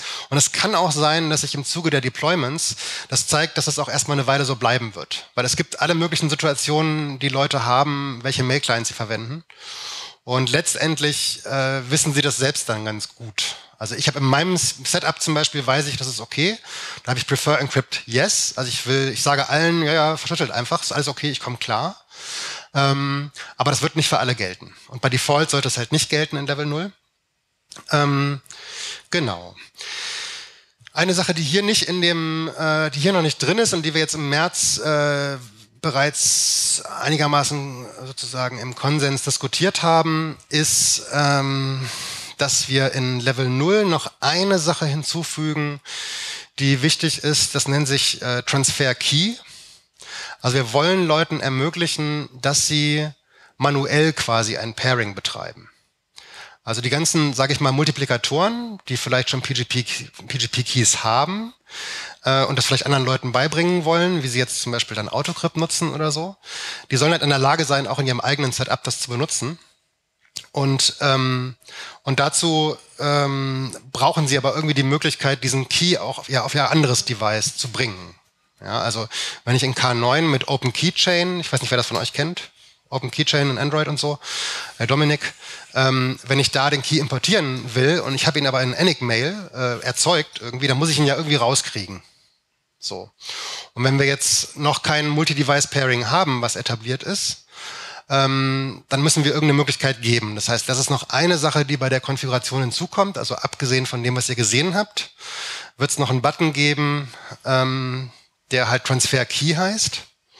Und der erzeugt ein bestimmtes spezifiziertes Format, was dann von allen MUAs gelesen werden kann, die Autocrypt ähm, unterstützen. Und das kann man dann entweder auf irgendwie Storage tun oder auf einen USB-Stick ähm, und halt zu dem anderen Device irgendwie transferieren oder irgendeinen anderen Kanal, den man sich ausdenkt. Ähm, und das wird auch mit einem Backup-Code laufen. Also sprich so eine Art von Passphrase ja, ähm, die ich verwende. Ähm, und das bedeutet, dass ich diese Mail, die wird dann, das ist eine sogenannte Self-Send-Mail. Das heißt, wenn ich äh, meinen Key generiere als, als Autocrypt-Client dann ähm, und einen Transfer-Key mache, dann kann ich wählen, dass das an mich selbst geschickt wird. Und damit taucht es in meinem IMAP-Folder auf, meiner Inbox. Ja? Damit kann der andere Client kann das feststellen, dass da plötzlich diese Mail ist und kann halt diesen Key lesen und bei sich importieren. Das ist sozusagen so die, die Grundidee, aber das ist halb manuell. Das ist sozusagen in Level 0 ist das nicht ähm, jetzt irgendwie komplett automatisiert. Das Einzige, was, was wir da machen, ist quasi das Format zu spezifizieren und dann hängt es ein bisschen von den verschiedenen MUAs ab, wie sie das genau ähm, dem User anbieten, wo er das hinbringen kann. Also sei es Copy-Paste oder sei es irgendwie, weil auf dem Android hat man nicht unbedingt einen USB-Stick und so, das ist ja alles ein bisschen unterschiedlich. Ähm, aber wir gehen davon aus, dass die Leute, die sich ein Multi-Device-Setting herstellen wollen, dann in der Lage sind, irgendwie das, was sie aus dem Programm rauskriegen, zu dem anderen Device irgendwie zu bringen. Und das ist dann die Geschichte, die ähm, in Level 1 automatisiert sein soll. Also, dass ich da sagen kann, wenn ich einen Level 1 Client installiere, dass der automatisch den anderen Level 1 Client bemerkt, dass der da ist, wahrscheinlich über IMAP. Und ähm, dann die Synchronisation zwischen denen Ende zu Ende verschlüsselt, also zwischen den beiden Mail-Clients, ähm, der Key ausgetauscht wird. Und dann muss ich mir als User auch keinen Backup-Code oder irgendwas merken. Es wird einfach quasi äh, auf das andere Device gemacht und das Pairing findet dann noch über einen ähm, in so einem typischen Diffie-Hellman nochmal zahlengesicherten, äh, also wo ich quasi, wo ich quasi Passwords äh, verifizieren muss zu zwei zweimal, zweimal vier Zahlen, dass die auf beiden Devices gleich aussehen und sowas. Ne? Das kennt ihr wahrscheinlich.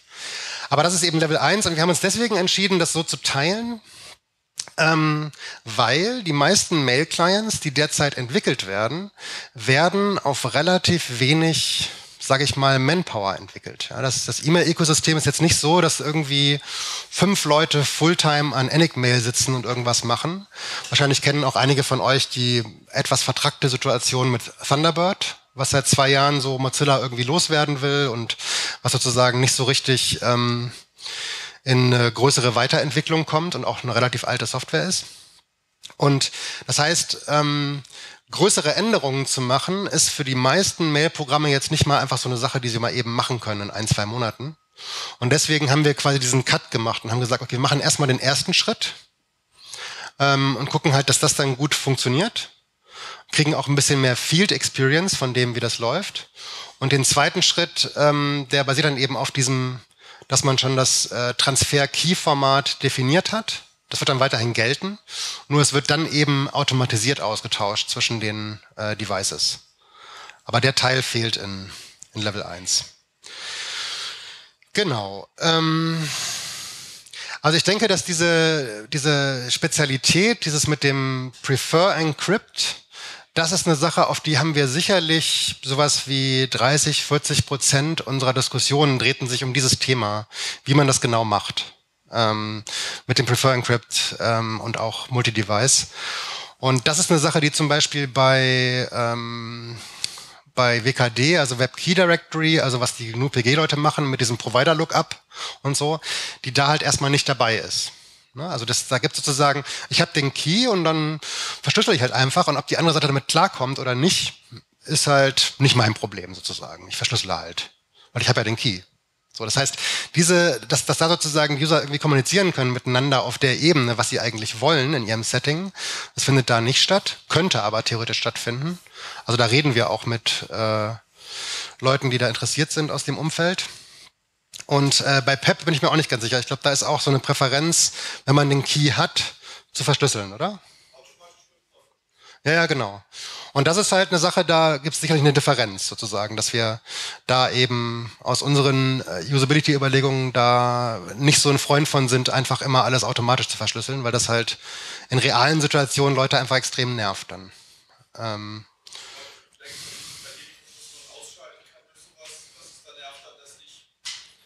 wenn du meine Verschlüsselung ausschalten kannst. Ne, wir werden noch sehen, ob die Mail ankam. Ich weiß es nicht.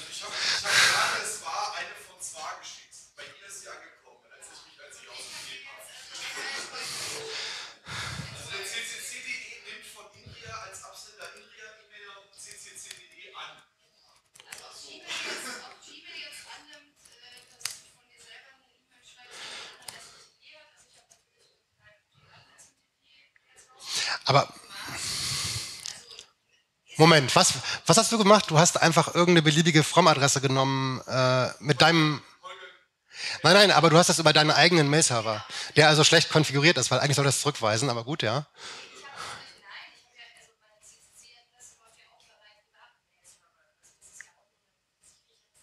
Ah, okay. Ja, ja, gut, aber da sind die, da, da haben die, haben die großen Provider natürlich andere Policies, ne? Das kannst du mit Gmail nicht machen. Aber ich kann es mit Dutzenden von Providern machen. Ja, also ich, ich kann eigentlich. Das ist ein Missverständnis. Okay, sag du mal.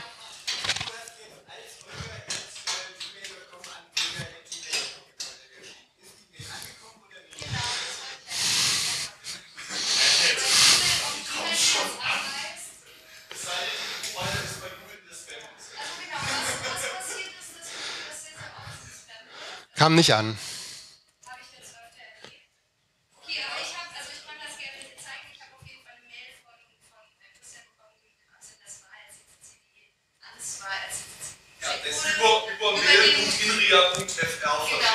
Mhm. Ja gut, aber in RIA würde ich jetzt auch nicht unbedingt einen guten Mail, aber klar. Ja. Genau.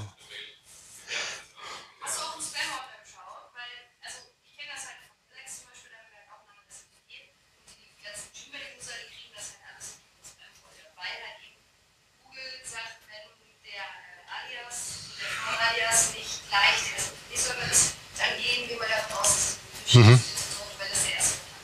Mhm. Das heißt, der Default landen solche Mails bei Google im Spam-Folder. Ob Sie jetzt nochmal einen extra Case aufmachen, wenn die Mail quasi vom eigenen kommt. Ja. Ja gut, ich meine, die andere Frage ist, ob man als, als Mail-Client sich irgendwie überhaupt äh, Spam-Mails anschaut im Hinblick auf irgendwie ähm, Keys rausziehen. Ne? Wahrscheinlich wird man Sachen, die als Spam klassifiziert sind, sich auch gar nicht anschauen, weil es ist relativ klar, dass da irgendwie wirres Zeug drin stehen kann. Aber klar, ich meine, das Problem ist... Hm? Ja, ja, mache ich gleich. Ich würde jetzt ganz gern, also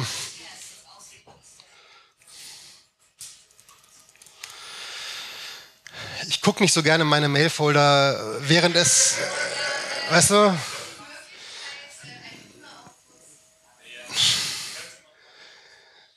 Ja.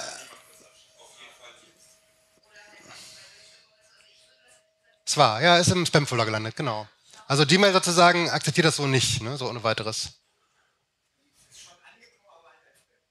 Ja, also das wäre jetzt, also ich sag mal so, Autocrypt hat schon das Ding, dass man, das, ich denke, dass, ich weiß nicht, ob es da explizit steht, aber es ist relativ klar, dass wir.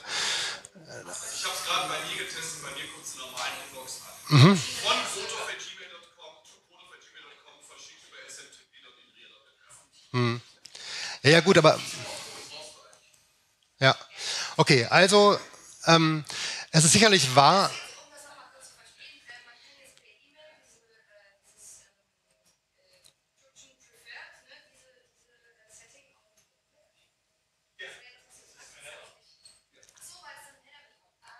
Genau. Also vielleicht ein, ein Schaubild, äh, diese Alice Bob-Geschichten, die wir gemacht haben, jetzt auch, die ähm,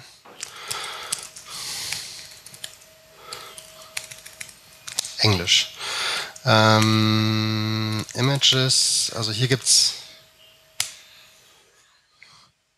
weiß nicht, ob das groß genug ist. So sieht das sozusagen in den, äh, also links ist äh, Alice Ist das so noch groß genug? Nee, ne? Okay. Also wenn Alice Bob hier eine Mail schickt, dann ist dieser Autocrypt-Header dabei und da steht eben, abgesehen von dem Key, das ist ein Base64 encodeter binärer PGP-Key, ähm, steht hier eben noch das Prefer Encrypted Yes in dem Fall. Also sprich, die andere Seite soll an mich verschlüsseln.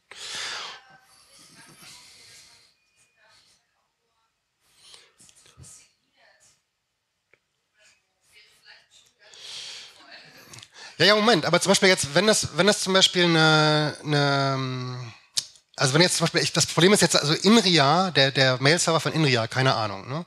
Aber wenn ich, also wir gucken uns halt an, was irgendwie Posteo, was macht Web.de, macht, was macht Gmail, was machen die ganzen großen Mail-Provider. Und da wirst du ein Problem haben, hier ähm, eine Gmail-Adresse zu haben, und das zum Beispiel an eine Posteo-Adresse zu schicken oder an irgendwelche anderen. Die werden diese Mail nicht, also da kannst du nicht einfach im, im Namen von Gmail, die immer Dickim signieren und was die Provider miteinander abchecken, einfach so Sachen schicken. Das heißt nicht, dass es nicht irgendwelche Setups gibt wie von Inria und CCC, wo man das doch irgendwie hinkriegt, ne? Aber wir gucken halt schon auf die Provider. Das heißt, ähm, also auf die großen Provider, was wie diese sozusagen die Praxis ist.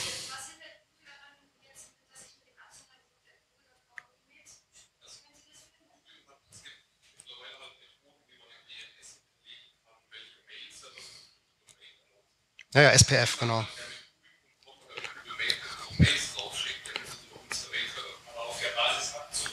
Aber er hat gerade eine für mich empfangen und mir angezeigt, die nicht vom Google-Server gekommen ist. Ja, und vor allem will ich doch vielleicht auch eine Gmail-Adresse. Ich besitze, aber. Ja, das ist der Punkt. Also, will ich doch vielleicht auch mal mit meinem Privat-SMTP rausschicken. Also ich bin jetzt irgendwie, ich habe jetzt hier ein Telefon, will jetzt meine Gmail-Adresse machen, die ich benutze, da mal kurz von die reinhauen.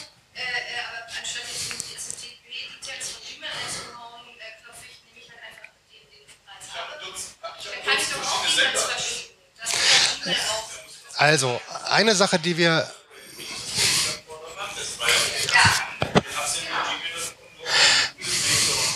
Aber das ist ja gut. Ich lande jetzt, ja, aber ich lande jetzt Spam vor der Zeit, aber ich bin ausgefallen.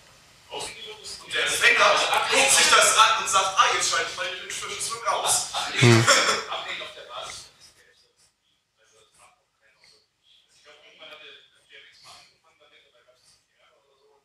Hm. Oder Yahoo, ne?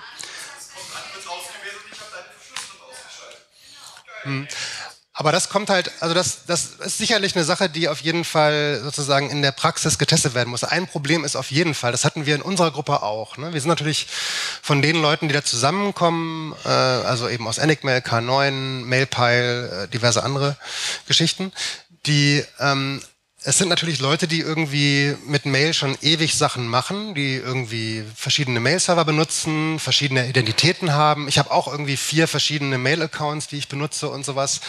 Das ist aber nicht das, was normalerweise Leute machen. Ja, also das heißt, ähm, die meisten Leute ähm, haben halt nicht die Setups und haben auch nicht Linux und haben auch nicht alles Mögliche. Ne? Und das Problem ist halt, wenn ich jetzt in der Diskussion damit anfange, naja, ich nehme jetzt hier diesen CCC und dann irgendwie in, InRIA und irgendwelche Mail-Server und dann klappt das nicht und so.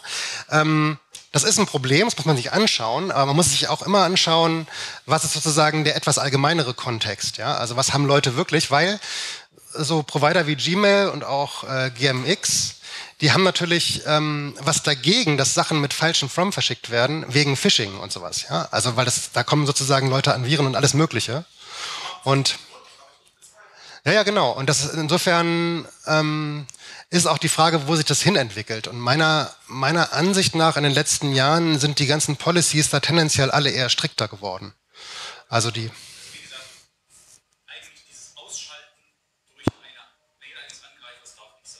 Mhm.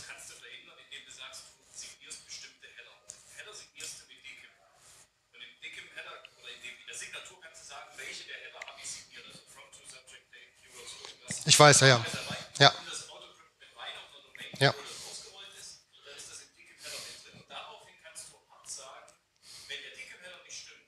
Mhm. Kann ich es verwerfen. Ja, ja, das ist prinzipiell, also vielleicht ganz kurz für die, die es jetzt nicht, noch nicht so ganz gut äh, kennen, was äh, auch um Phishing zu vermeiden und genau dieses, dass irgendjemand einfach eine From-Adresse nimmt, die nicht stimmt, haben halt äh, verschiedene Provider das eingeführt, dass sie ähm, eine Signatur auf die Header machen, genau wie du gesagt hast. Ähm, das heißt Domain Key Identified Mail. Das heißt, da steht im Prinzip im DNS für den Provider einen Public Key in einer bestimmten kanonischen Weise, wo ich also rankomme. Und dann kann ich also, wenn ich eine Mail kriege, wo ein bestimmter From steht, nachgucken, ist die Signatur korrekt? Das heißt, ist, ist diese From-Adresse tatsächlich von dieser Domain gekommen? Ja? Das wurde vor drei Jahren oder fünf Jahren oder sowas, äh, standard, vier Jahren, fünf Jahren standardisiert und wird von vielen verwendet, nicht von allen, aber von vielen, also von Gmail vor allen Dingen auch. Und ähm, ist aber eine Sache, und da ist sozusagen das Problem, das ist eine Sache, die vor allen Dingen zwischen den Providern funktioniert. Also du kannst sozusagen, ein Provider kriegt von einem anderen Provider eine Mail und der sieht dann dieses, ah, das kommt von Gmail und macht dann diese Verifikation, dass die Header stimmen. Ja? Du kannst aber dann, wenn diese Mail weiter wandert, ähm, zum Enddevice, diese DKIM-Verifikation nicht mehr ganz so stabil machen. Und das liegt daran, dass zum Beispiel Microsoft Exchange, was auch eine Realität ist, ähm, ganz gerne Sachen umschreibt. Ne? Und dann, dann hast du sozusagen, der Provider kann zwar noch checken, dass es dann von Gmail kommt, aber das ist ein Exchange-Server. Und dann schickt er das weiter auf das End-Device und das End-Device guckt dann, ich guck mal, ob die Signatur stimmt und die stimmt dann nicht, weil das sozusagen... Genau. Nee, aber es geht jetzt hier um die Verifikation. Es geht nicht darum, also nehmen wir an, ähm, Gmail würde sich... Mhm. Genau. Genau, das ist also in einigen Fällen geht es. Ich sag mal so, du kannst zumindest eine also es war im Prinzip genau der Ansatz, den ich auch vor einigen Monaten äh, favorisiert habe, aber ich weiß von Leuten, die da ein bisschen mehr drin hängen noch in dem Mail-Ökosystem, die sagen, naja, DKIM auf End-Devices ist nicht ganz so einfach. Also das ist nicht so eine... Ähm, End-Device ist gar keins. Genau. Ah, okay. Provider-Level. Mhm.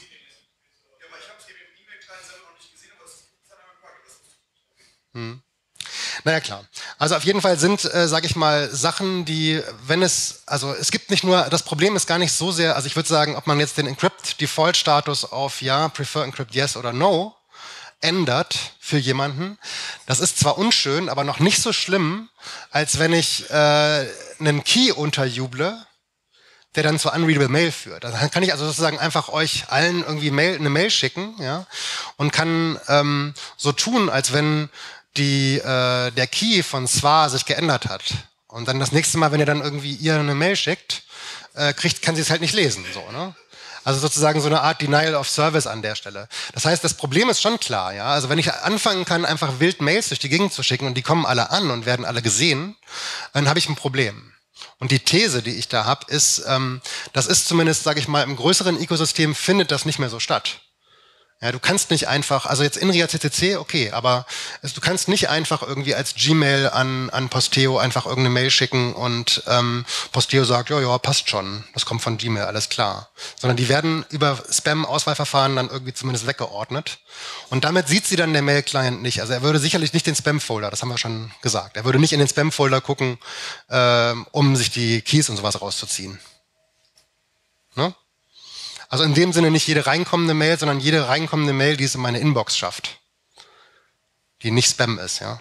Die schaue ich mir an in Bezug auf ähm, so. Kurz noch mal zum, zum Konzept. Ähm, also hier ist es im Header, hier ist es im Header und ähm, in der in der zweiten Mail, also wenn Alice Bob eine Mail geschickt hat und dann Bob eine Mail zurückschickt, dann ist bereits, äh, dann kann die bereits verschlüsselt sein weil Alice hat ja schon ihren Key mitgeteilt ähm, hier. Das heißt, Bob kann dann äh, in dem Fall sofort an Alice quasi im Reply äh, encrypten. Und macht das auch in diesem Fall, weil hier pre Prefer Encrypted äh, Yes steht. Ja?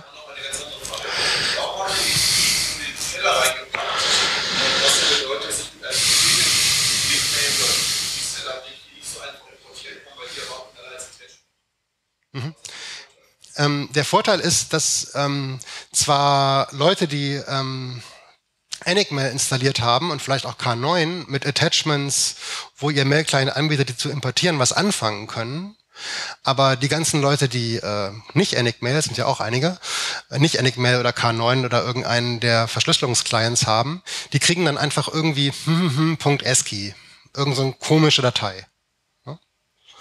Und ähm, das löst bei vielen Leuten Irritation aus, wenn da irgendwelche komischen Attachments sind, weil eine der Geschichten, die Usern erzählt wird, ist, wenn du komische Attachments kriegst, dann ist das ein Spam oder ist irgendwie ein Problem.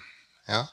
Das heißt, wenn du nicht einen verschlüsselten Client hast, dann siehst du quasi in einem so und das ist die eine der es gab glaube ich zwei bis drei Sachen, das war ein wesentlicher Punkt, warum wir sagen, wir machen das in den Headern, weil das ist eigentlich eine Sache, die die Mail-Clients miteinander verhandeln, sozusagen. Also das muss der User nicht, der muss keine Keys sehen, sozusagen.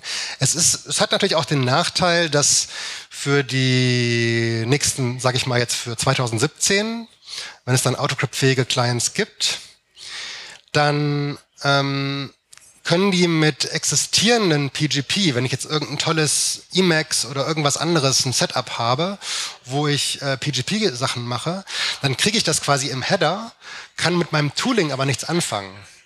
Während ein Attachment könnte ich einfach doppelklicken oder irgendwas machen und es würde einfach importieren. Das heißt, da ist dann sozusagen die Interoperabilität mit der existierenden, mit dem existierenden PGP-Tooling ähm, nicht so gut. Aber da ist halt auch, ähm, ich sag mal so, dass da ist zumindest jetzt von den Autocrypt-Leuten einfach die Ansicht, gut, wir wollen ja viel mehr User bringen auf Verschlüsselung. Das heißt, an der Stelle äh, müssen halt die Leute, die schon PGP-fähige Clients haben, halt ein bisschen was noch in ihrem Tooling machen, dass sie halt diese, ähm, dass sie diesen Key halt lesen können aus dem Header, ja, statt aus dem Attachment. Ist auch nicht so schwierig. Ähm, das ist auch der Teil, den ich jetzt noch im Hands-on, äh, weil das Ganze ist in, es gibt eine quasi nicht direkt Referenzimplementierung, aber zumindest eine Implementierung, mit der man auch rumspielen kann und die ich auch in meinem eigenen Mail-Setup quasi in Produktion habe. Ähm, aber das ist natürlich auch ein spezielles Mail-Setup. Ähm, und da ist es dann einfach so, dass ich dem Tool sagen kann, hier ist die Mail und dann kommt zum Schluss einfach ein Key raus. Ja, oder ich kann den einfach dann in GPG importen. Das heißt, ich kann das in alle möglichen Setups, die das halt irgendwie schon können. Für die Leute, die schon irgendwie PGP-Clients haben, ist der Aufwand nicht sehr groß, einfach diesen Key zu importieren. Ja. Ähm, aber eben aus besagtem Grund ist es nicht einfach ein Attachment, weil das für die meisten anderen User ein Problem ist. Ja. Ähm, Frage, wie geht ihr denn mit Keys um, die sich ändern? Also wenn mhm. ein Nutzer jetzt ein neues Handy kriegt, mhm. der keine Ahnung hat, der richtet seinen Mail-Account ein, dieser neue Client, den er auch nutzt, mhm. ist auch autocrypt-fähig. Er kriegt aber jetzt einen neuen Key, weil der Autocrypt-Client sagt ihm, erstell doch einen Key, dann kannst du verschlüsselt mit deinen Freunden senden. Ja. Aber natürlich hat er vorher kein Backup gemacht oder es gibt noch keinen QR-Code, weil in den ersten Clients ist das noch nicht drin oder whatever. Mhm. Ähm, was zeigt ihr dann an, wenn ja, sich der Key auf der Gegenseite ändert? Genau, willkommen im Team. Das sind genau die Fragen, die wir auch, äh, wo es sozusagen immer sehr viel drum geht, um dieses, User macht einfach irgendwas und weiß überhaupt nicht, was er macht und äh, hat einfach ein neues Device und sagt Enable Autocrypt oder ne, was auch immer. Und äh, eine Antwort darauf ist, dass ähm, wir eine Recommendation drin haben. Also das Ganze ist ja, wenn ihr auf äh, autocrypt.org geht, ähm,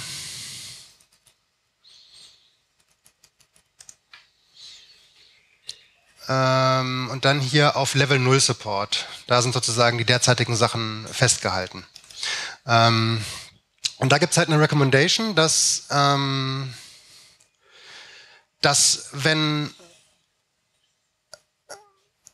wenn ein Autocrypt-Client, ein Autocrypt-fähiger Client quasi anfängt zu arbeiten, also ein neues Release, irgendwie Autocrypt oder ein neues Device, egal, ähm, dann soll der die Inbox checken und gucken, ob ähm, sozusagen schon Mails rausgeschickt wurden. Der, ja, der muss ja irgendwie Zugriff kriegen auf IMAP, muss ihn ja irgendwie konfigurieren über Autoconfig oder wie auch immer. Und in dem Moment kann er schon mal feststellen, dass zumindest schon mal ein Autocrypt äh, aktiv war. Ja? Schon mal eine, ein Indiz sozusagen, dass ich vielleicht nicht einfach nur den Default Screen zeige. Und das zweite ist, ähm, dass wenn der einen neuen Key generiert und den dann dranhängt, dann wird der in Zukunft benutzt werden. Und es gibt auch keine Warnung. Ja?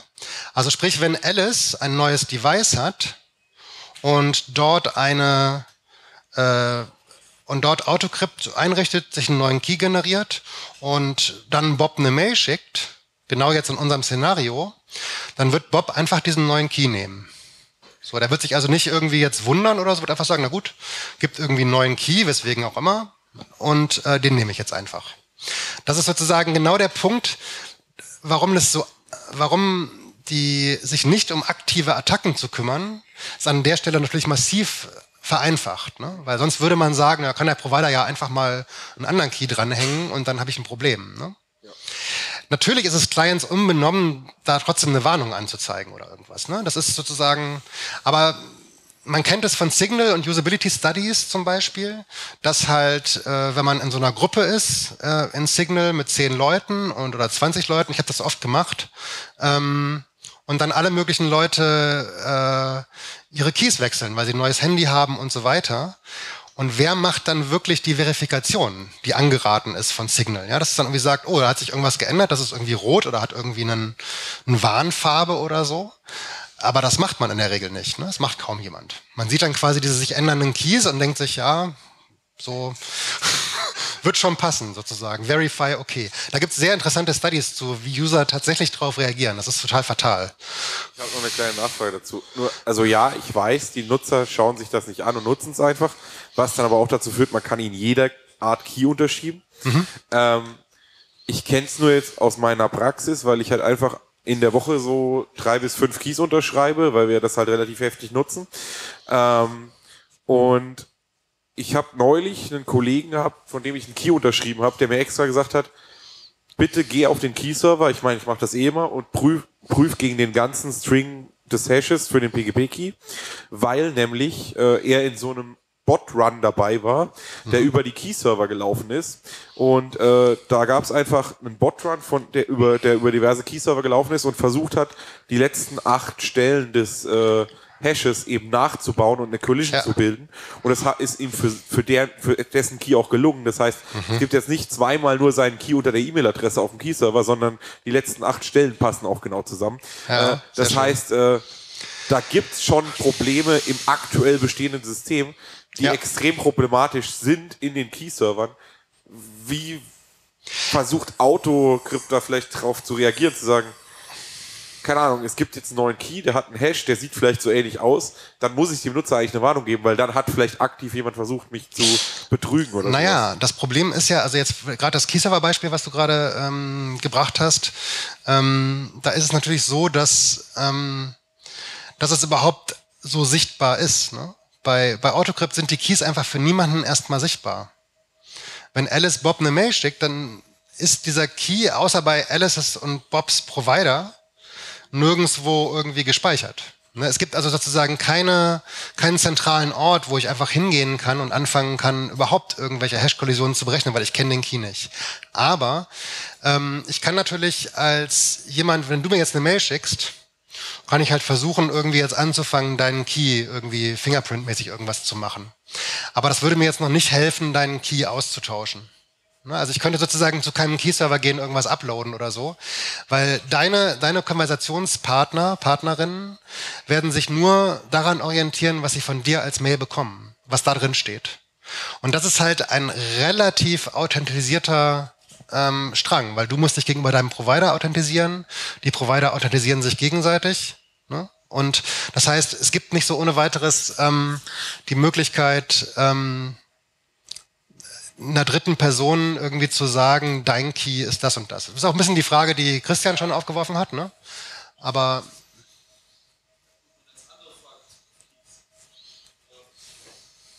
Ich habe mal gerade nachgeschlagen. Äh, RFC äh, für E-Mail, die aktuelle RFC für E-Mail, das ist die. Also es gibt ziemlich viele FCs für E-Mail.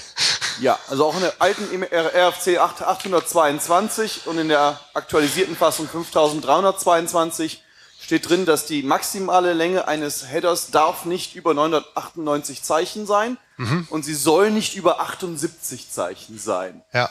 Und dann habe ich gerade mal geguckt, wie groß ist denn mein PGP Public Key und der ist 4773 Zeilen. Zeilen. Zeichen. Zeichen. Entschuldigung, Zeichen. Ja, ja. Aber das ich heißt, aber der meine, ist immer noch fünfmal länger, als was der Standard euch maximal erlaubt. ja, das ist, Wie packt ihr den aber meiner Ansicht nach, ich habe es jetzt nicht genau im Kopf, aber soweit ich weiß, sind diese 998 sowas, ähm, was eher, also das, das wird von allen möglichen Leuten werden schon größere Header verwendet. Also Exchange voran, die haben 10k Header und sowas. Es geht um das Limit pro Zeile, nicht um das gesamte Limit für den Header. Ach so, ja, gut, aber das ist, sorry. Ja, ja, ja.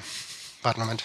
Wie gesagt, ich weiß, was mit Sinn, deswegen habe ich gerade nach. Ja, ja, aber das, das, klar. Aber zum Beispiel, ich zeige es euch mal ganz kurz jetzt hier in dem, ähm,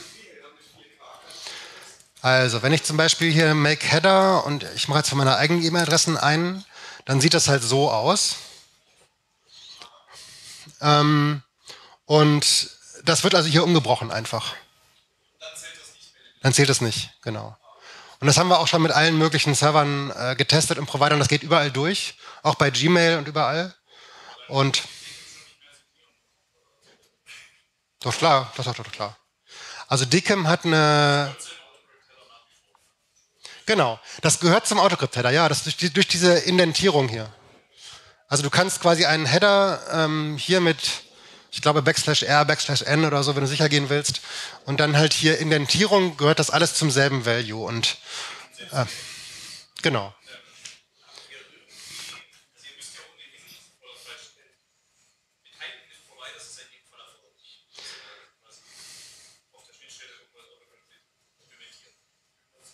Nee, Moment. Du sagst, das verstehe ich nicht ganz. Ähm, Provider, äh, sag's nochmal. Nein, ihr wollt, ihr wollt äh, provider-agnostisch sein. Genau. Okay. Das heißt, die Frage, die erspare ich mir jetzt eigentlich nach DNS-Sec und irgendwelchen Schlüsselaustausch im DNS, ist, ist irrelevant. Genau. Soll alles nur in E-Mail-Header. Genau. Okay. Also wir bauen quasi einfach auf der Tatsache, dass einigermaßen die eine E-Mail-Message von A nach B zu schicken, zwar nicht perfekt, aber einigermaßen gesichert ist zwischen den Providern und verschicken dann einfach da drin die Keys. Und darin unterscheidet sich es auch von allen Systemen, die quasi äh, irgendwelche zentralen Lookups haben. Also sowohl Web Key Directory als auch Key Server. Ähm, und das heißt nicht, dass es nicht ohne Probleme ist. Ne? Es gibt Probleme. Also es gibt, äh, wenn ihr in die Spec guckt oder so, dann schreiben wir verschiedene Risiken. Ähm, Table of Contents. Ähm, da gibt es ein ganzes äh, Potential Ecosystem Dangers of Autocrypt. Ja. Gibt es eine ganze Menge Sachen, die wir sozusagen aufgeschrieben haben, ähm, die ähm, uns schon aufgefallen sind, wo sozusagen ein bisschen problematische Areas sind und so. Ne? Das ist, also die. Die erfordert ja Mitarbeit des, des Providers. Genau, aber das ist sozusagen eine sehr minimale Geschichte. Also ich glaube, das wird nicht so schwierig sein, äh, Provider zu überzeugen, dass sie in ihrem bestehenden DKIM-Zeug noch diesen Header sein. Das ist sozusagen, ja. da müssen sie wirklich nur einmal Konfiguration ändern. Das ändert nicht die Art der Operation, die sie betreiben. Ne? Sie müssen nicht plötzlich irgendwie als Certificate Authority Keys ausliefern oder sowas. Genau. Gut, also ähm, also ich hoffe, dass ich jetzt ein bisschen äh, vermitteln konnte, sozusagen, wo derzeit die E-Mail-Encryption-Ansätze stehen. Ähm, Web Key Directory, Pep Engine. Also ich würde sagen, der, also ja.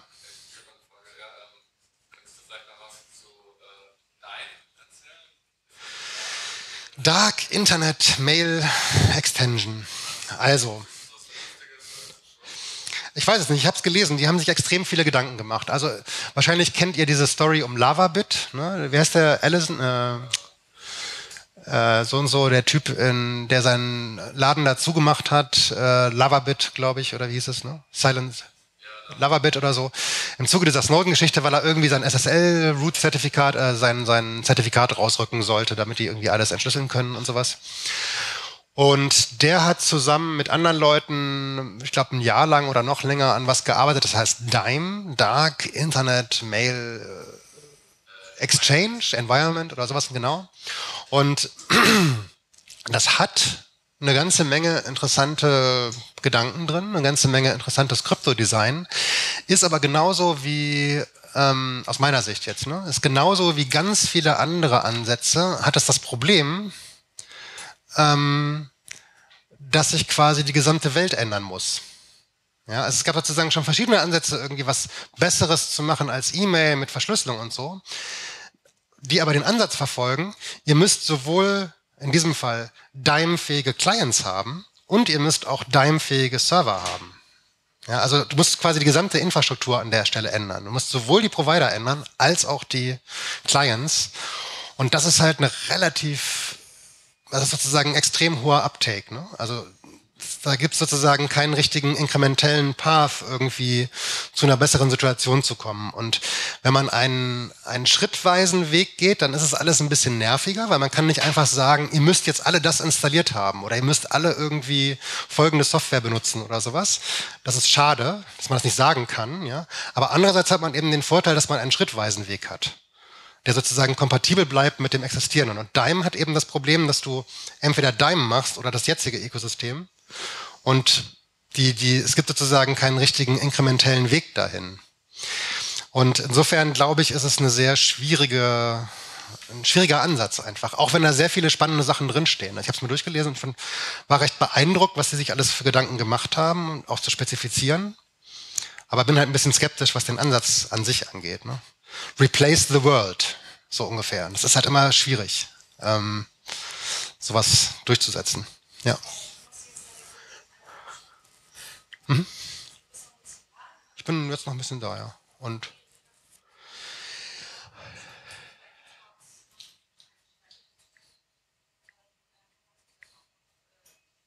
Ah ja, sehr gut. Wann sind die Lightning Talks?